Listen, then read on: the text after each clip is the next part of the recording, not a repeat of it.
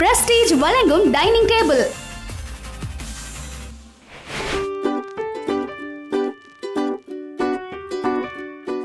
Hi hello வணக்கம். Welcome to president வழங்கும் dining table நான் உங்கள் chef Palanimurugan.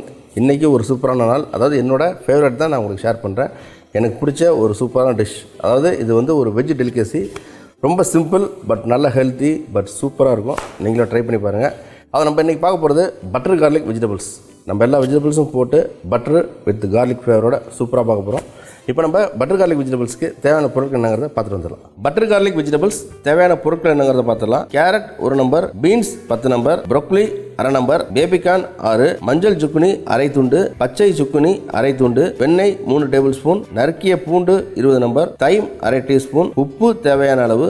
Butter garlic vegetables எப்படி செய்யறதுங்கிறத பார்த்துடலாம். இதில் ஃபஸ்ட்டு கொதிக்கிற தண்ணி இதில் சால்ட்டு அண்டு சுகர் இந்த சுகரை பொறுத்த வரைக்கும் உங்களுக்கு கலர் மாறாமல் இருக்கும். இதில் ஃபஸ்ட்டு வந்து நம்ம கொதிக்கிற தண்ணியில் கேரட்டு நம்ம இது விருப்பப்பட்ட வடிவத்தில் நம்ம வெட்டிக்கலாம். தென் அதிலே பீன்ஸு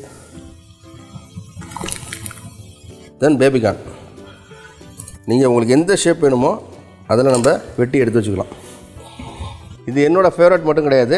என்னோடய ஃப்ரெண்ட்ஸோட சர்க்கிள்லேயும் வந்து நிறைய பேர் வந்து நான் சாப்பிட்டு நான் அறிமுகப்படுத்தி அவங்க வீட்டில் செஞ்சு இது வந்து பார்த்திங்கன்னா ஒரு ஸ்ப்ரெட்டுனே சொல்லலாம். அப்படியே நிறைய பேருக்கு பிடிக்க ஆரம்பிச்சிருச்சு. ஓகே சூப்பர் இது வந்து உங்களுக்கு ஒரு முக்கால் வேக்காடு வெந்துருச்சு. ஓகே தென் கொதிக்கிற தண்ணி. அகைன் நம்ம இந்த ப்ரோக்லி இதை நம்ம சேர்த்துக்கிறோம். இதுவும் லைட்டாக கொதிக்கணும். இது வந்து முக்கியமான விஷயம் என்னென்னா நம்ம ரொம்ப வேக வைக்கக்கூடாது. இந்த ஜூஸினஸ் எல்லாமே அதிலே இருக்கணும். இது அப்படியே நான் எடுத்து வச்சுக்கிறேன். அவ்வளோதான் இதுவும் நம்ம கொதிக்குது. வெந்த மாதிரி இருக்கணும். ஃபுல்லாக வேகக்கூடாது. குழந்தைங்களுக்கு வந்து ரொம்ப பிடிக்கும் அது பார்த்திங்கன்னா உங்களுக்கு கலர்ஃபுல்லாக இருக்கும் இந்த நல்லா கலர்ஃபுல்லாக இருக்கிறப்ப உங்களுக்கு ஆட்டோமேட்டிக்காக பிடிச்சிரும். இப்போ ஜுக்குனி எல்லோ தென் க்ரீன் ரெண்டுமே சேர்த்தாச்சு. இது லைட்டாக ஒரு கொதி வந்தோடனே டக்குன்னு ஒரு சென்சிட்டிவான விஷயம்.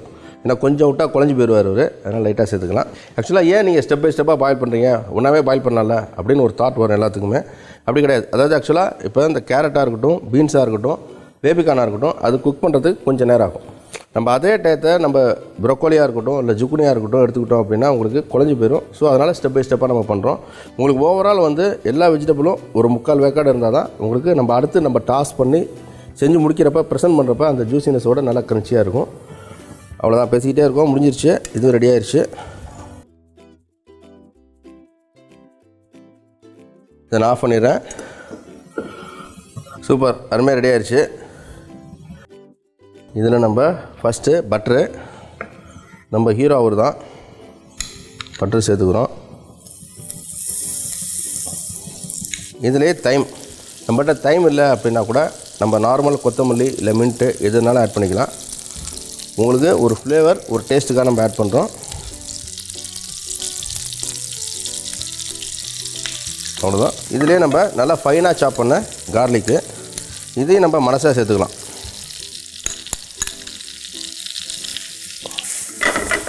ஆக்சுவலாக நான் இது செஞ்சு கொடுத்து என்னோடய ஃப்ரெண்ட்ஸ் சர்க்கிளில் ஃப்ரெண்ட்ஸ் மட்டும் இல்லை அவங்களோட ஃபேமிலி சர்க்கிள்லையும் அவங்க லஞ்ச் பாக்ஸ் மெனுவாக எடுத்துகிட்டு போவாங்க. சின்ன குழந்தைங்க வந்து ஸ்நாக்ஸாகவும் கொடுப்பாங்க. அவங்களும் ரொம்ப லைக் பண்ணி சாப்பிடுவாங்க. இதில் அதாவது நம்ம வேக வைக்கிறது தனித்தனியாக இருந்தாலும் வேக வச்சதுக்கப்புறம் நம்ம இதை ஒன்றாவே ஆட் பண்ணிக்கலாம்.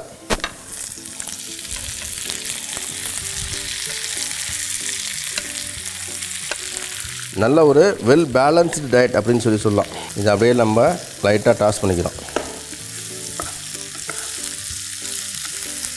இந்த பட்டரில் இந்த கார்லிக்கோடு சேர்ந்து இது லைட்டாக குக் ஆகணும். அதே மாதிரி இதை நம்ம பண்ணுறப்ப உங்களுக்கு போட்டு ரொம்ப டிஸ்டர்ப் பண்ணக்கூடாது. லைட்டாக பெரட்டணும். முடிஞ்சால் அதாவது டாஸ் பண்ண தெரிஞ்சால் டாஸ் பண்ணிக்கலாம். இல்லைனா கூட அதை டிஸ்டர்ப் இல்லாமல் லைட்டாக பெரட்டணும். இது பாருங்கள் பார்க்குறதுக்கு நல்லா கலர்ஃபுல்லாக ரொம்ப அருமையாக பக்காவாக ரெடி ஆயிடுச்சு இதில் நம்ம க்ரஷ் பெப்பர் நல்லா வந்து மிளகை வந்து அரைச்சி எடுத்து வச்சுருக்கேன். இதை நம்ம ஆட் பண்ணிக்கிறோம். நான்வெஜ் லவர்ஸ் இதே ரெசிபி இன்ஸ்டெட் ஆஃப் வெஜிடபிள்ஸ் நீங்கள் சிக்கன் ட்ரை பண்ணலாம் ப்ரானும் ட்ரை பண்ணலாம். அதே மாதிரியே இருக்கும். உங்களுக்கு லைஃப் லெஸ் ஸ்பைஸியாக இருக்கும் ஈஸியாக இருக்கும். டக்குன்னு செய்யக்கூடியதாகவும் இருக்கும். நல்லா ஜூஸியாகவும் இருக்கும்.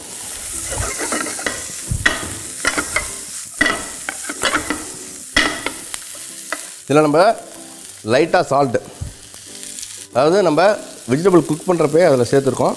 பட் அதில் மிளகு இந்த கொஞ்சோண்டு பூண்டு சேர்த்துருக்கோம். அதுக்கு தேவையான உப்பு கொஞ்சமாக சேர்த்தா போதும்.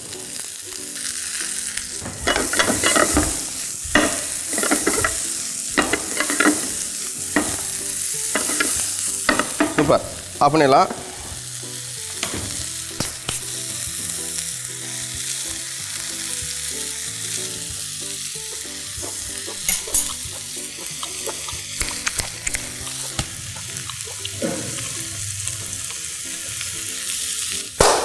சூப்பராக இருக்குது பக்காவாக இருக்குது அந்த பட்டர்னா பட்டர் தான் கார்லிக்னா கார்லிக் தான் எல்லாம் கலந்து இந்த வெஜிடபிளோட சேர்ந்து ரொம்ப சூப்பராக இருக்குது நல்ல ஜூஸியாக க்ரன்ச்சியாக அட்டகாசமாக இருக்குது இந்த டேஸ்ட்டை நீங்கள் ஃபீல் பண்ணுன்னா நீங்களும் ட்ரை பண்ணும்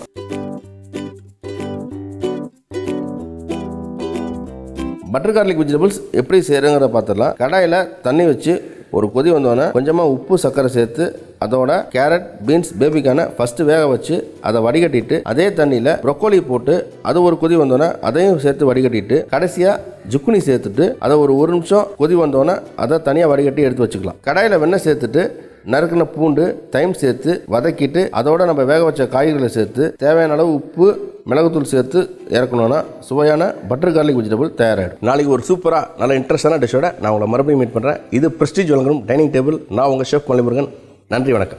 டிப் ஆஃப் தி டே நம்ம மலை குளிர்காலங்களில் பார்த்தீங்கன்னா வடகம் வீட்டில் வச்சுருக்கிற வடகம் நமத்து போயிடும் அதை நம்ம எண்ணெயில் பொரிக்கிறப்ப சுருங்கி சுருங்கி ஃப்ரை ஆகி வரும். அந்த மாதிரி இல்லாமல் இருக்கணும் அப்படின்னா ஃப்ரை பண்ணுறதுக்கு முன்னாடி லைட்டாக வெறும் வானநிலை லைட்டாக பிரட்டிட்டு அதுக்கப்புறம் எண்ணெயில் பொரிச்சிங்க அப்படின்னா நல்லா ஃப்ரை ஆகி வரும். நாளைக்கு நான் உங்களுக்கு செஞ்சு காட்ட போகிற ஒரு எம்மையான டிஷ் மட்டன் தொக்கு.